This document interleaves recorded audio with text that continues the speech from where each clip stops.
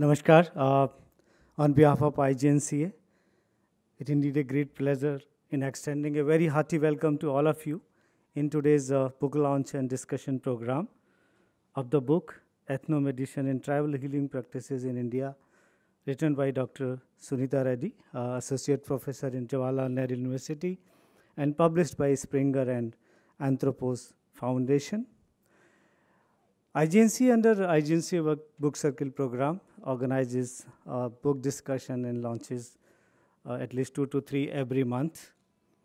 Uh, today, to do this honor of launching the book and uh, guiding us about more about the book and the subject of the book, we have very eminent guest. Uh, it's indeed my pleasure in extending a very hearty welcome to all of them. Kalanidhi division, which is which is a, containing this all valuable knowledge resources open to everybody. You can come anytime and uh, uh, benefit out of that. And in that series, uh, this book circle, IGNC book circle program was initiated, basically to connect author uh, with the readers. And uh, we have been doing this program since many years. Once again, I extend a very hearty welcome to all of you and look forward to our eminent guest to know more about this subject and also about the book. Thank you very much. This book would not have been possible without the initial grant which I got from ICSSR to organize a conference way back in 2016. You can imagine it takes a couple of years to finally get the product out, and especially a topic which is very important, where the contribution of so many scholars in this volume, you can, when you see the uh, content list, you will realize that there are very many senior scholars who have been, you know, contributing. Now, uh, this is a very important topic, as I said, traditional and tribal healing practices. And in fact, this is one of the non-codified systems. We have all the other systems which are codified, which have written texts, which have professional knowledge, which have degrees like biomedicine or Ayurveda. But folk tradition, which are also called as traditional medicine or indigenous medicine or tribal healing, herbal medicine, all these are non-codified, which doesn't have any written text. It is passed through generations to generation through oral traditions. And most of these healers have this divine power to get into this profession, and they learn through apprenticeship with the seniors in their own community. And uh, this is all very experiential. Now, when we say ethnomedicine, it is about the people, the indigenous people who have the knowledge of the ecology, the biodiversity, and the rich knowledge which they possess about the trees, the flora, and the fauna around them, make them uh, healers with lot of practice, and they many of the times they perform on them, themselves. And this is something which is learned over generations. Now, uh, our focus was to do more with herbal medicine, not really with shamanism or other faith healing. So we restricted ourselves to you know, edit volume on uh, more of herbal healing, which the traditional healers have been doing for ages. Now, when we look at the whole hierarchy of knowledge, biomedicine, though, came very late, and Ayurveda and traditional healing systems have been there for centuries. We have not really recognized them. Ayush recognition also came in 1995 and later on. But then, if you look at uh, 2005 and later on, and still, the folk medicine, the folk healing practices, the herbal healing are not recognized by the state.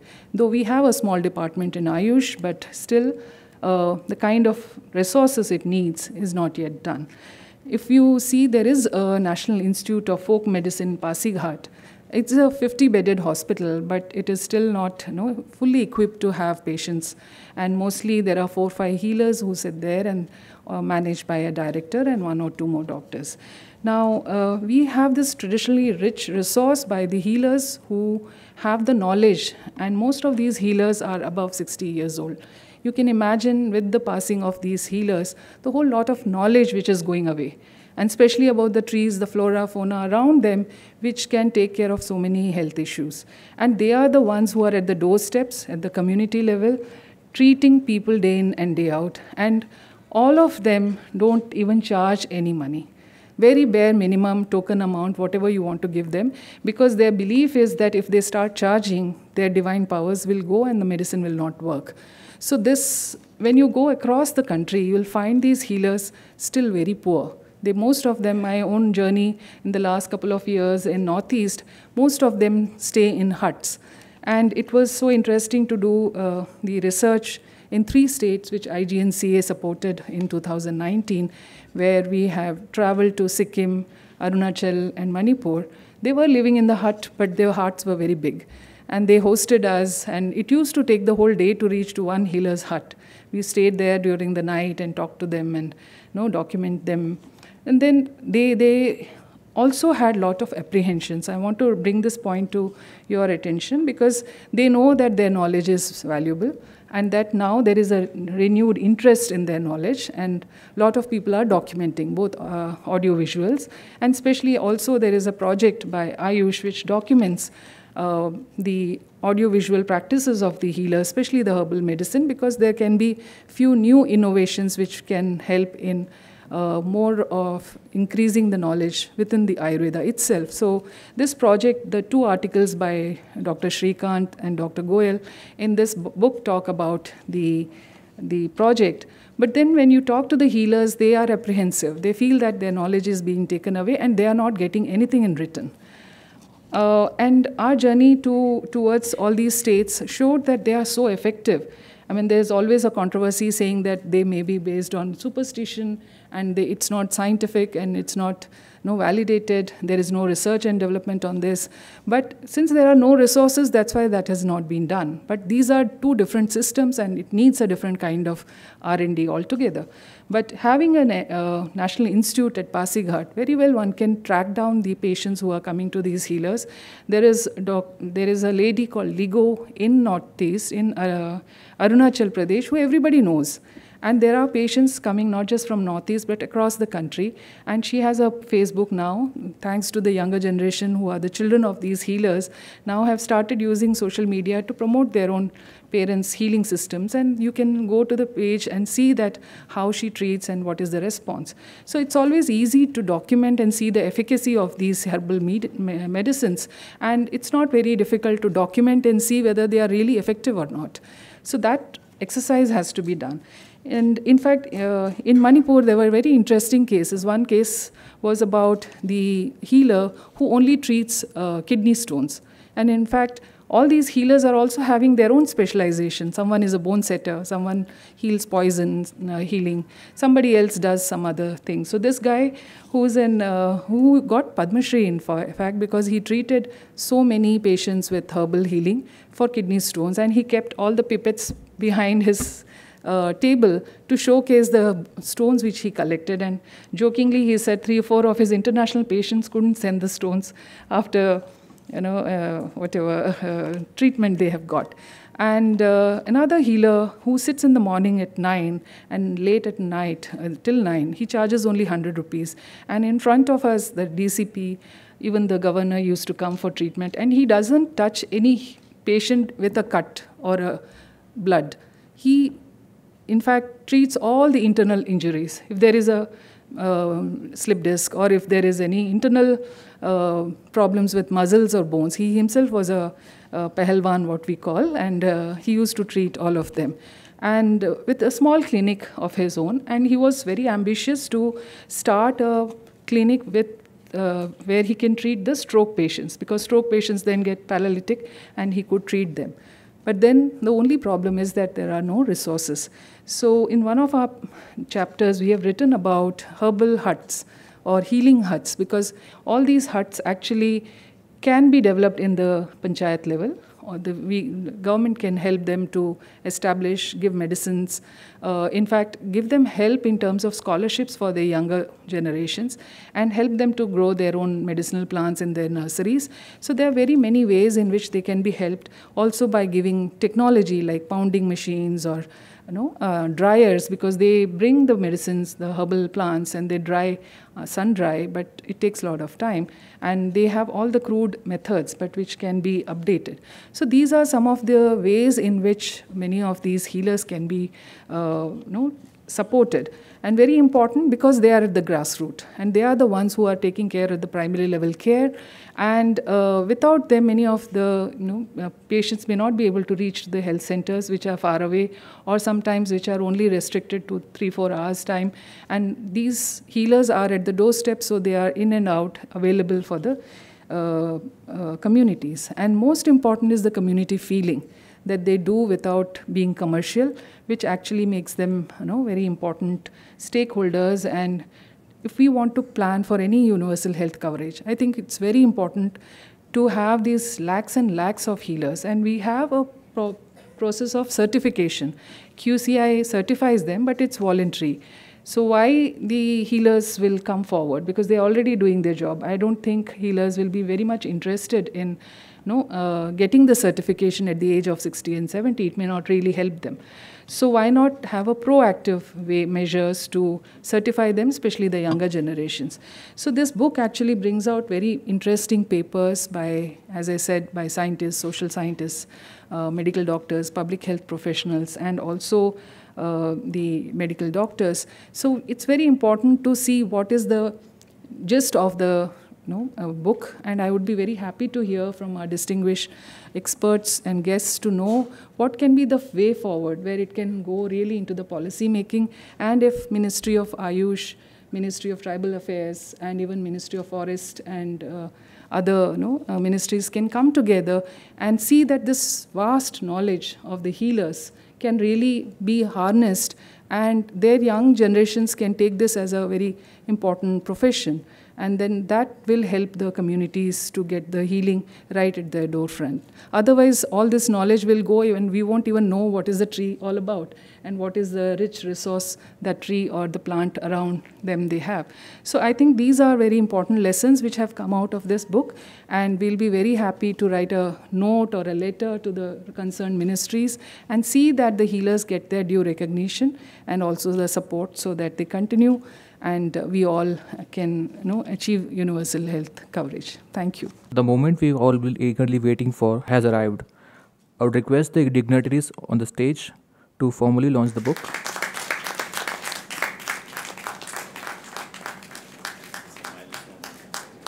Now, this book would fall under the rubric of medical anthropology. And I'm an anthropologist, so I would like to say, start by saying giving you some idea about what anthropology is. And there is a great similarity between the philosophy of Pandit Deen Upadhyay and anthropology. Pandit Deen Upadhyay came up with the philosophy of Antyodaya. And anthropology is actually Anto Adhyana.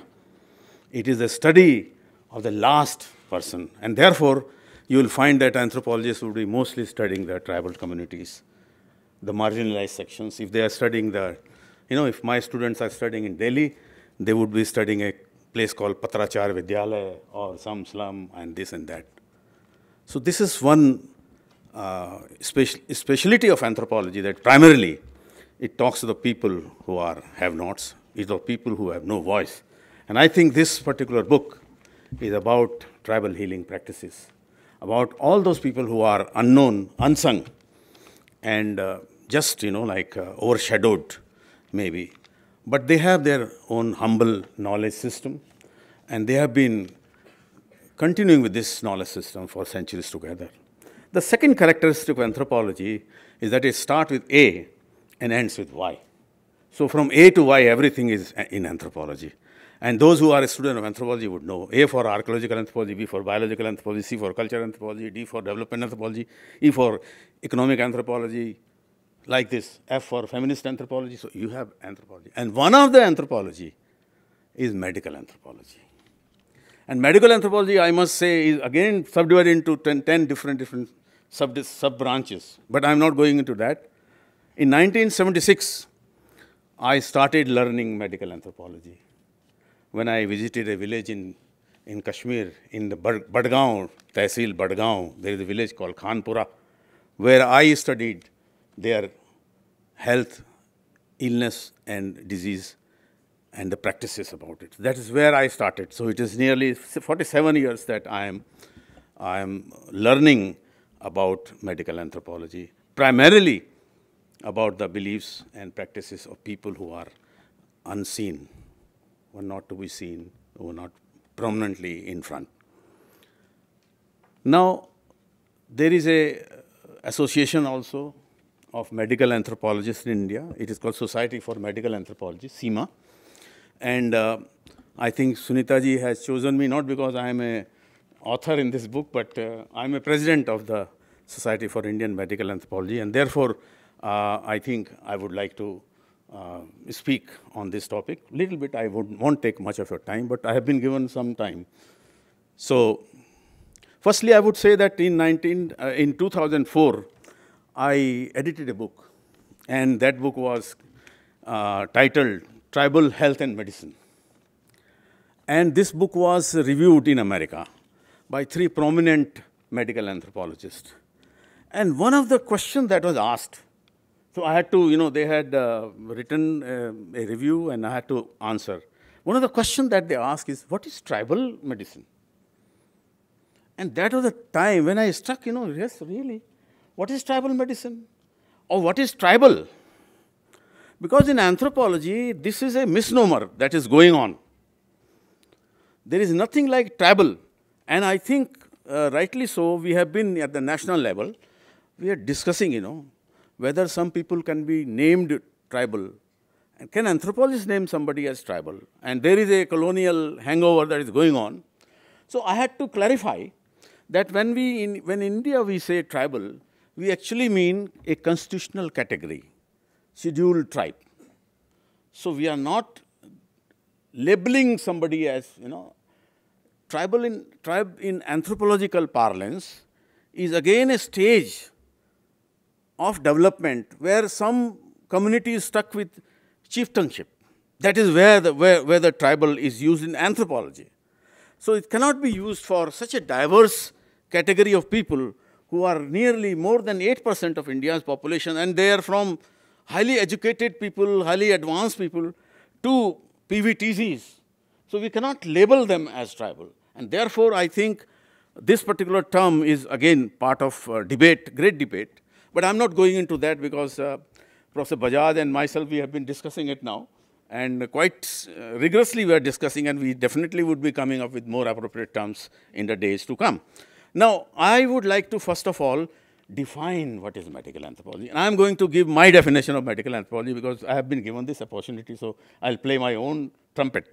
So I have defined in 2016 when this uh, conference was held, the same year I defined medical anthropology and for the benefit of uh, the you know, uh, audience. Medical anthropology investigates the issues related to health, illness and disease from socio-cultural, biocultural, eco-cultural and political economic perspective. It further strives to achieve an empowering, equitable and patient-oriented healthcare which is accessible, affordable, besides conforming to patients' expectations. Now, this is how in anthropology we look, we look at the problems that are to be seen, that are to be investigated, and the solutions for that to be sought at the person who is at the last stage, at the last, which is, of course, as I said, is somebody we are unable to see. And they are the ones living in slums, they are the ones living in the tribal areas, and they are, they are the ones where I think poverty plays a very, very important role. There was a book I remember which was published in 1980 by Norway, Norwegian people. It was called Pills Against Poverty. Now, Pills Against Poverty was a very, very, I would say, uh, a kind of a satirical, you know, title, where we are not looking at, you know, uh, medical problems of people, but we are looking at poverty. And I think poverty is also, we, are, we have come to realize that poverty itself is like a medical problem. It is not only a matter of, uh, of lack of resources, lack of money. In anthropology, there is a lot of literature where we have been talking about how poverty changes or orients your mindset so that you make, start making choices which may not be appropriate, which may not be rational. And that is what is not because of anything but because of the poverty, which is a kind of a cultural uh, assemblage. Recently, in 2022, in a journal called Child Pediatric, there is a, a group of people from Boston Medical uh, Center. They have been working, and they are talking of what is called as anti-poverty medicine. Now, they are saying that poverty affects biology, and therefore you have to look at poverty as a medical problem. So it is no more a kind of, you know, giving money to somebody, you know, like you can give money to somebody, you can provide a source to somebody. But what about the mindset? What about the poverty as a, as a, as a mental panorama? So this is what I would say that when we are trying to study tribal healing systems, we should not only look at, you know, people who are disadvantaged groups, but we should also look at their culture. We should look at how their culture is benefiting them, and also how the culture is also preventing them from, you know, both the things are there. So when we study tribal communities, we find that there are, there are, you know, there are obvious problems like we have uh, vaccine, vac vaccine hesitancy, which is generally coming from these areas, from the areas which are of interest to anthropologists. Now, why these vaccine hesitancies are coming? It is not only a question of that people are not aware, people have, have no, they're ignorant. No, sometimes people know, but still there is a mindset that is there. We have to understand the mindset. So if we have to change, we have to change according to the mindset of the people.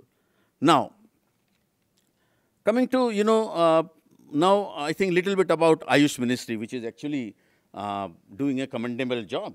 They are, they are the ones if, uh, who are actually under the, under the title of uh, local medical systems. They are, they are trying to document tribal, uh, tribal medicines. And Madam Shalja is sitting here. She was a secretary Ayush when I remember, you know, I was also part of that committee where uh, they were looking at, you know, this orthopedic, you know, especially in the in the in the in the, in the ground in the grassroots, you know, orthopedicians and all of these people from all India came. So Ayush is doing a very good job, and I think uh, Sunita ji has rightly said that in Pasighat, Arunachal Pradesh, we have got a uh, you know folk medicine institute, National Institute of Folk Medicine. But unfortunately, what is happening, you know, Ayush is also, uh, I would say, is dominating the tribal systems. And there, there, is a, there is a phenomena that I would like to, I, I am talking about and I have written also. It's called Ayushization. So Ayushization is going on because you have, you have for a very long time allopathy, you know, dominating over Ayurveda. But then you have a resurgence of Ayush and you have uh, indigenous and traditional medical systems. Now what is happening is Ayush is dominating over the tribal uh, healing systems. And this is happening. And I can tell you in 2012, when this institute was opened, it was called National Institute of Folk Medicine. Now it is called Northeastern Institute of Ayurveda and Folk Medicine. Ayurveda has already, you know, set in there. So I would say that, you know, like these systems should not be, you know, I would say, no, dominated by any other system. And they should be studied, first of all, documented, as independent systems in themselves. And I think it is uh, the government of India is, of course, starting from very good uh, idea, uh, starting from northeast, but on their own, I think, uh, these healers, tribal healers, are organizing themselves. One of my students who is a Santal, she worked among the, of course, Santal, and she said that they are coming up with a, with a you know, system of medicine, they call it as hodopathy. Now, hodo is a, hodo means man, human beings. Uh, birhod, you know, birhod, you must have heard of birhod. Birhod means forest man. So they are coming up with a, with, with they are calling it as a, a system uh, that they are teaching to the uh, budding Santal as part of their culture, identity, and all those things. They call it hodopathy. Similarly, in, uh, in Rajasthan, there is a, in Udaipur particularly, there is a uh, organization called uh, Rashtriya Guni Mission. Now, Rashtriya Guni Mission is again an attempt by these healers, these folk healers, to organize themselves and to also standardize themselves. So what I'm trying to say is there are two things that are going on. At the grassroots level, these healers are because of, again, uh, globalization, because of all kinds of internet and all these things that are, that, that are uh, influencing them. They are organizing themselves. But at the same time, government of India is also trying to you know, set in emotion. But that is actually, again, I would say, I would, as an anthropologist, I would say that let folk medicines be developed as folk medicines, not as subordinate to Ayurveda, not as subordinate to Unani, not as subordinate to Siddha or uh, Sowa-Rigpa, whatever uh, systems are there. They are, they are, they are, basically these systems are medical systems, I would say. They are tribal healing systems or medical systems. And when I say systems, I am not talking of that they are only consisting of plant medicines. They are systems means they have a full-fledged curative system, they have a full-fledged preventive, promotive and diagnostic. All elements, all the branches of, of medical science are there in, in these systems as well. And therefore, we have to uh, look at them from that point of view. Now, uh, Sunita ji has said that in this particular book, they have emphasized upon plant medicines. In fact, WHO in 1975 came up with, under Bannerman, they came up with traditional medical system program, where they emphasized on two things. One is the plant medicine, another was TBA, traditional birth attendants. What I would like to call as ethnogynecologists, you know, I would not like to call them as attendants, birth attendants. They are ethnogynecologists. They also have a very important knowledge. And she mentioned about Professor R.K. Mutatkar. Professor R.K. Mutatkar did a study in, in Pune among the gynecologists of Pune. And she asked them, you know, when you were pregnant, what you did? Did you follow your gynecology books? Or you follow your, your uh, uh, सास क्या बोलते हैं उसको सास को क्या बोलते oh sorry i'm so sorry you know mother-in-law and all of them 100% of them they said that they followed their mother-in-law so why they followed their mother-in-law they are all so you know well versed with the with the minor nuances of of, of gynecology why they have to? Because, you know, there is a difference between disease and illness. Disease is what a doctor would tell you, but illness is an experience, and they are two different. There is a person called Eisenberg, he said, people suffer illness, doctor treat disease. So doctor will treat disease, but people suffer illness. And therefore, these traditional systems, including tribal uh, healing systems, they are based on experience, experience of generations and generations. They are valuable from that point. They are not experiment based. Science is experiment based, but this folk science is experience based. And this experience is of generations, and this experience is very valuable. So it must be documented. I, I agree with you. And government of India is very now, right from madam your time, I know from your time only, you were all trying, to, we were trying to have evidence base for Ayurveda from that time only on, onwards. So we should try to have this evidence base also with these tribal, tribal systems, evidence base. I give you one example, you know, I was working among the Tharus. There is a place called Chandan Chowki. So I was, I was talking to a bone setter. Now this bone setter was, uh, I was talking, he said, what do you do? He said, I use this bark of a tree. Uh, there is a tree called Maida tree. He said, I use the bark of tree. And my patients, when I, whenever I use it, I put, a, you know, around that bone uh, fracture and it, it heals. I said, how do you know? How do I believe you? You know, I said, you know, I wanted to be sure. I said, how do I believe you? He said, come come with me. He took me around. He said, these are all Maida trees. All of them have been used by me, all the bark. And there was hundreds of trees with, without bark. And the bark was used by him. He said, if it was not uh, effective, why would people have come to me and why would I take it again? So this is again, you know, like based on his experience. Now this particular plant, this particular bark needs to be, of course, studied and needs to be put to scientific, you know, scrutiny, evidence-based, and then we can definitely, there is a lot of experience that people have gained over generation, hundred and hundred years. This experience is there, you know. When you come up, come with a, you know, like one of my friend is uh, Professor Rawat, in chemistry. He has uh, come up with a molecule this molecule is uh, now being used for Parkinson's disease.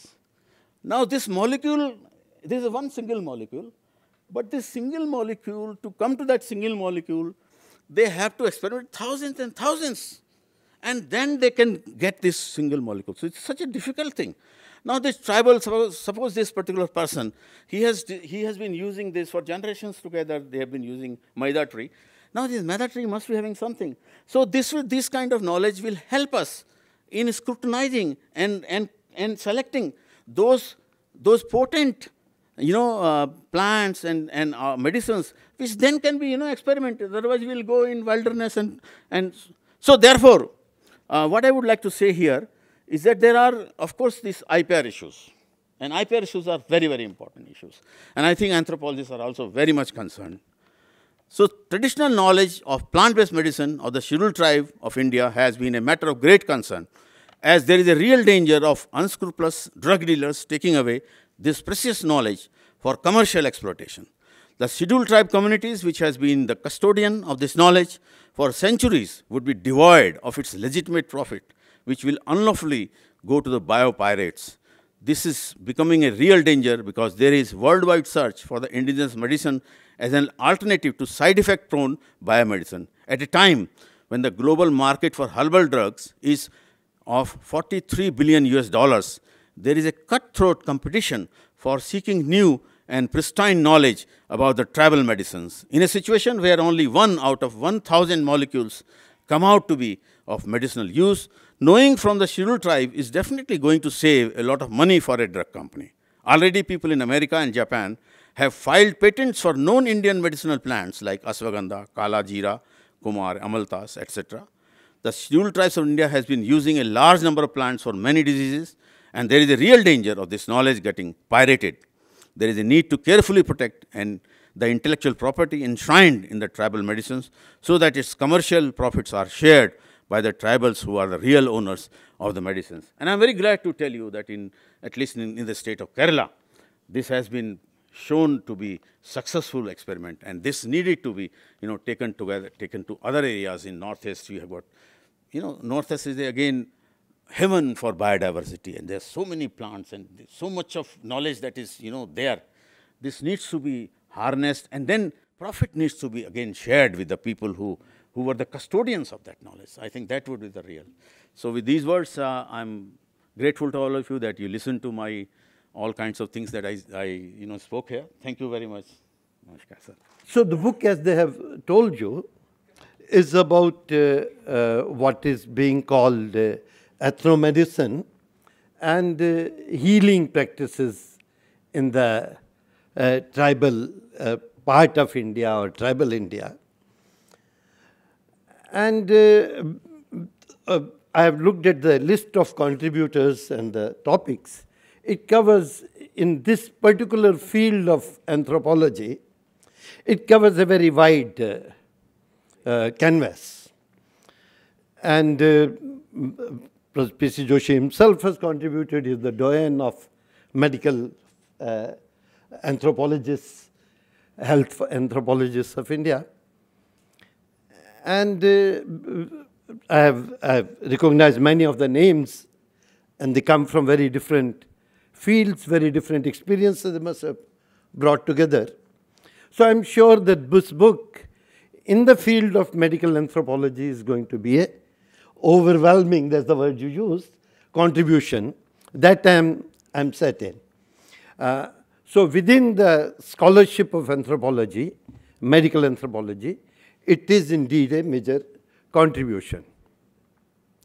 Uh, but they, uh, what Sunita is trying to do is not only, not only contribute to the field of medical anthropology, she also uh, wants to uh, propose certification, recognition, integration of this uh, uh, uh, indigenous ethno practices. I don't know where do we integrate them, but that's one of the those things that uh, is attempted. And not words like uh, he said tribal, that also we should consider sometime more seriously. But a term like ethno uh, we have been saying that we have completed 75 years of independence. And uh, um, after 75 years, we have also said that we have taken these five uh, great resolutions for the Amrit Kala. And one of the uh, those resolutions is, or two of those resolutions, one of them is to be proud of your heritage. And the, another one is that we will, in these 25 years, cleanse our minds of all traces of slavery which we were subjected to before independence. And the cleansing our mind also means uh, that we, we be careful about words which we have been, which we have inherited from our, our past. And this is not merely to do with words. When you, when you stop thinking of tribals as tribals, when you stop thinking of the tribal medicine as ethnomedicine or ethnogynecology, you start thinking of it as people, our brothers, and this medicine as medicine, and this then, then you approach it differently. You approach it very differently. Uh, it is not exotic to you. It is not others that we are uh, we are, and, and, that's extremely important. Let me see. My, uh, I, I couldn't have expressed my anger in 1978 when I came across that professor. Today I want to express my anger because I, have, I am the chairman of ICSSR.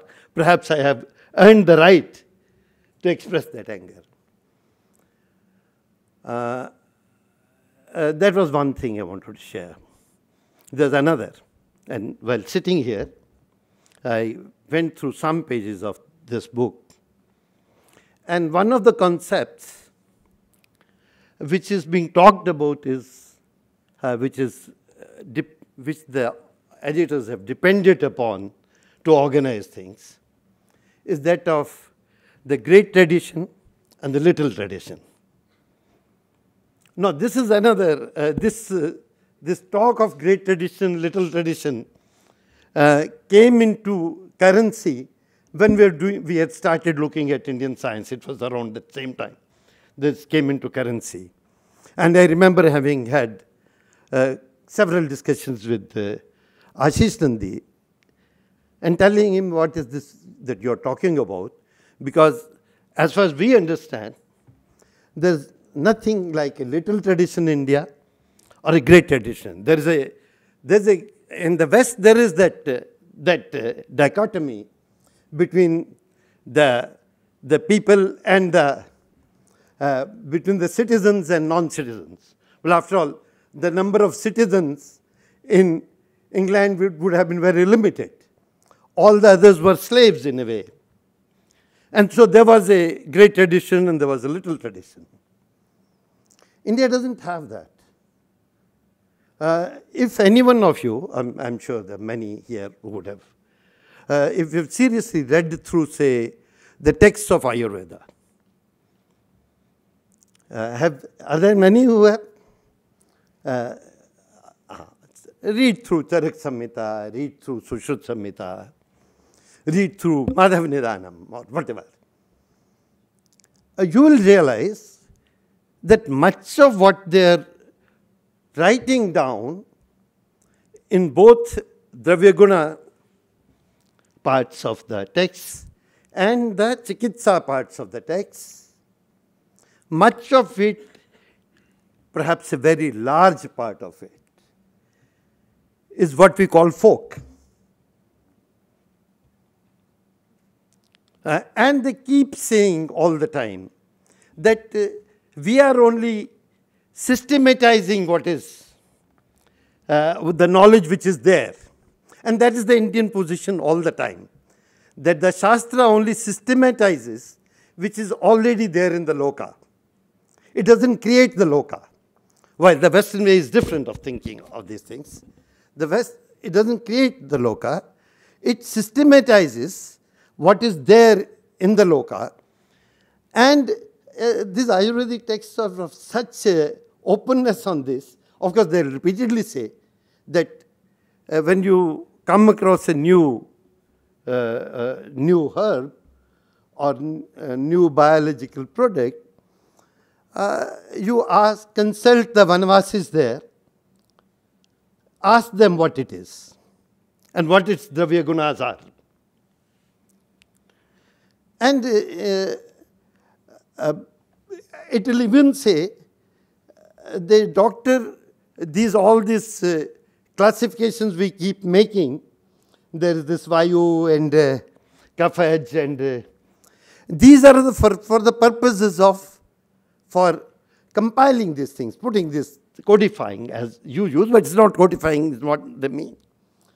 But in practice, if you find, and practice will mean your own practice as well as the practice in Loka, that uh, uh, that particular drug or some does not follow, it is behaving in a way different than what your Shastra is telling you, that is a, a, a, the, your Shastra is telling you that is a kapha karak drug, is a kapha drug, and you use it and you find the cough is actually decreasing, then you trust your eyes and trust the practice. Do not trust your Shastra. That is the kind of Shastra we have and cannot become a great tradition. It, here, what you call the great tradition and we call the little tradition, they're largely intermingled. Uh, and we should, we should be aware of that. If you really want to start looking at Indian reality as it is, we should be aware of that and not uh, put Ayurveda as the great tradition and these folk practitioners as the little tradition. We are not that. We are not that. that. Uh, I want to say something else. Uh, if we do not call this ethnomedicine, what do we call it? Uh, folk is not a good term because folk has all those all that uh, uh, baggage of the West. In fact, the German folk will be even worse term. Uh, the VOLK will be even worse term than FOLK, from where FOLK comes. Uh, so, what do you call it? So, one, of course, we you call it uh, Lok Swasthya, Lok Swasthya Parampara, uh, which has been used very widely, or uh, Lok Aushad. Uh, you, you can, I'm not saying use this, but that's one possibility. But there's better way. In fact, I was just reading the definition. Currently, the way ethnic is used in different parts of the world. And uh, say if you are in America, and uh, if you call the, uh, for the Americans, the blacks, the Latin, Latinos, the Puerto Ricans are all ethnics. But if you use the term ethnic for them, it will be taken as a pejorative. So you do not call uh, black art as ethnic art. You, not, you do not call black cuisine as ethnic cuisine, but you can call it black cuisine. You can call it Latin cuisine, Latin art. So why don't we, instead of saying this, we, we talk about Bhil Aushad. We talk about Gond Aushad Parampara or, or Santhal Parampara or uh, in that Pasighat, it could be Nishi uh, Aushad Parampara. When you do that, uh, when you start looking at this tradition not as a ethno tradition, but as a Bhil tradition or a Nishi tradition, or a Santhal tradition or as a Munda tradition, give them the name they have. They have an identity.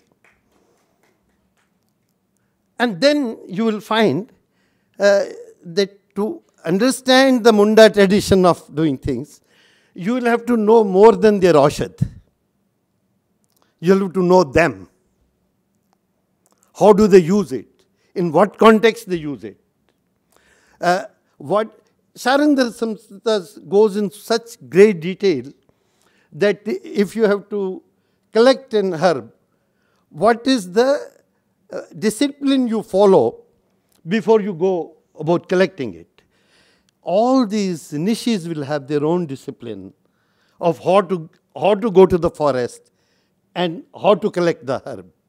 In what season, what time of the day, what kind of puja you do before you before you dare to touch.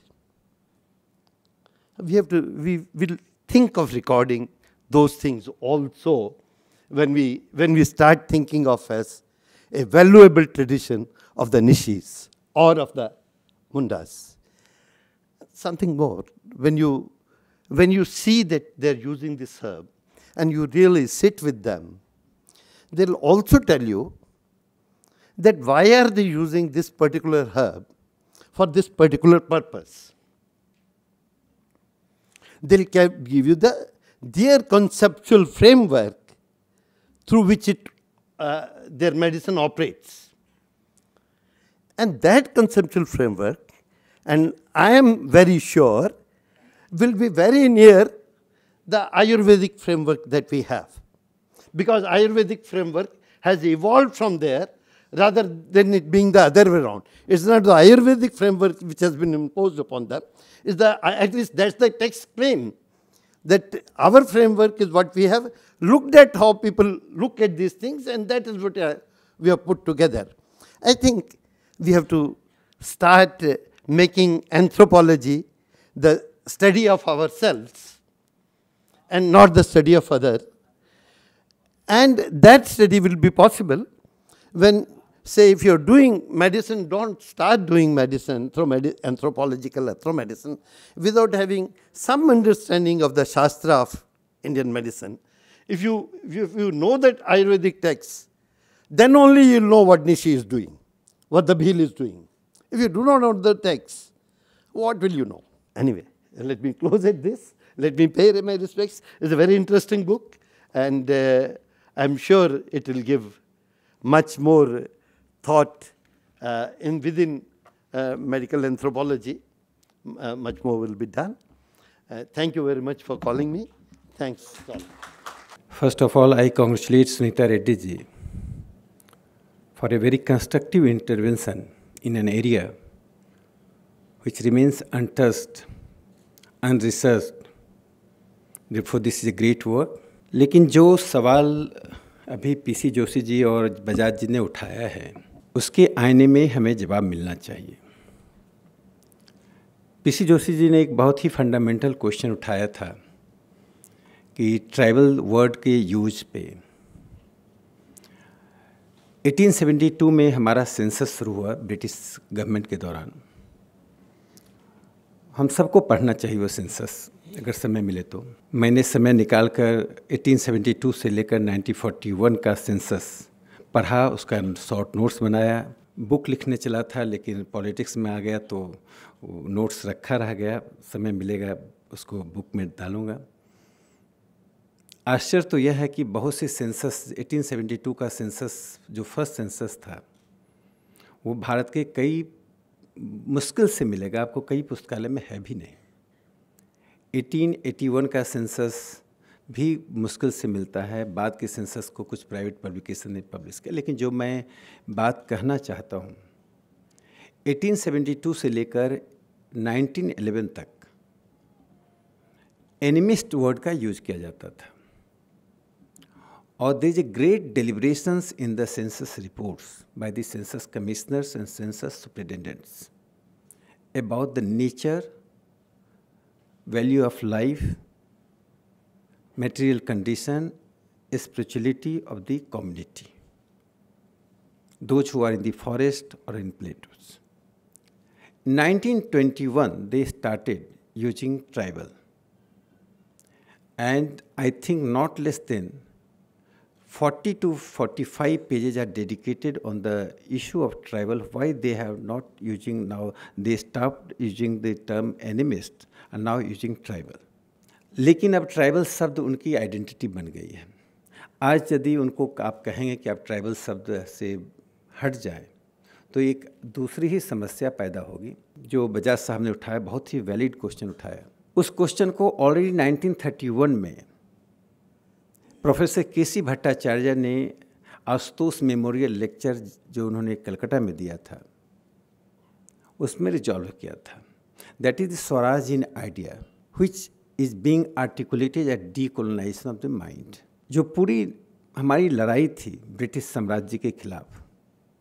यदि वो लड़ाई सिर्फ़ political power के लिए होती तो शायद गाँव के लोग, उड़ीसा का बारह साल का बाजी राउत, या पटना सचिवालय पर तिरंगा फहराने वाले सात बच्चे जो, जिसमें चार नाइन्थ क्लास के बच्चे थे, Ramanand, Ram Govind, Satish Prasad and Jagatpati.